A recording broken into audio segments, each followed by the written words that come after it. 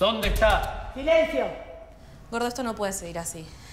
No podemos seguir viendo en la casa de mis viejos. ¿Qué quieres que te diga? No sé, no sé, no quiero que me digas nada, quiero que hagas algo. Y además, últimamente, ¿qué te pasa? ¿Por qué no me miras cuando te estoy hablando?